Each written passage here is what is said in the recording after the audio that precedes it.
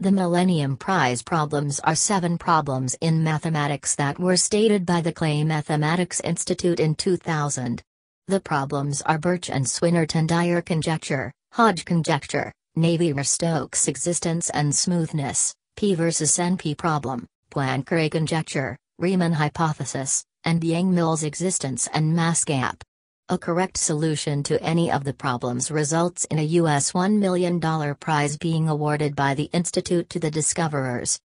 At present, the only Millennium Prize problem to have been solved is the Poincare conjecture, which was solved by the Russian mathematician Grigory Perelman in 2003. Unsolved problems P versus NP. The question is whether or not, for all problems for which an algorithm can verify a given solution quickly, that is, in polynomial time, an algorithm can also find that solution quickly. Since the former describes the class of problems termed NP, while the latter describes P, the question is equivalent to asking whether all problems in NP are also in P. This is generally considered one of the most important open questions in mathematics and theoretical computer science as it has far-reaching consequences to other problems in mathematics, and to biology, philosophy 4, and cryptography versus NP problem proof consequences. A common example of an NP problem not known to be NP is the traveling salesman problem. Most mathematicians and computer scientists expect that P does not equal NP. The official statement of the problem was given by Stephen Cook. Riemann hypothesis said it. Main article, Riemann hypothesis. The Riemann hypothesis is that all non-trivial zeros of the analytical continuation of the Riemann zeta function have a real part of half. A proof or disproof of this would have far-reaching implications in number theory, especially for the distribution of prime numbers.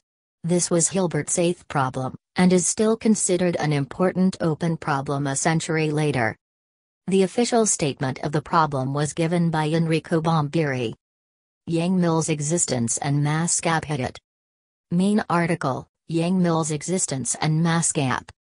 In physics, Classical Yang-Mills theory is a generalization of the Maxwell theory of electromagnetism where the chromoelectromagnetic field itself carries charges.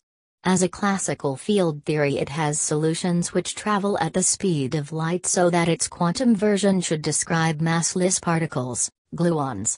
However, the postulated phenomenon of color confinement permits only bound states of gluons, forming massive particles.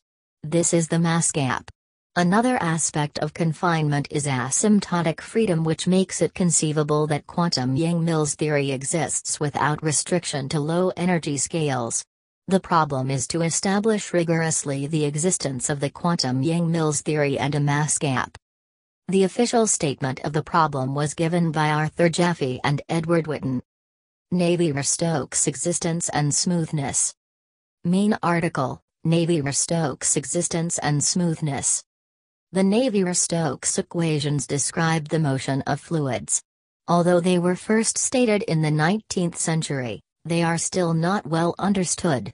The problem is to make progress towards a mathematical theory that will give insight into these equations. The official statement of the problem was given by Charles Fefferman. Birch and Swinnerton-Dyer conjecture. Main article, Birch and Swinnerton-Dyer conjecture. The Birch and Swinnerton-Dyer conjecture deals with certain types of equations, those defining elliptic curves over the rational numbers. The conjecture is that there is a simple way to tell whether such equations have a finite or infinite number of rational solutions. Hilbert's tenth problem dealt with a more general type of equation, and in that case it was proven that there is no way to decide whether a given equation even has any solutions. The official statement of the problem was given by Andrew Wiles.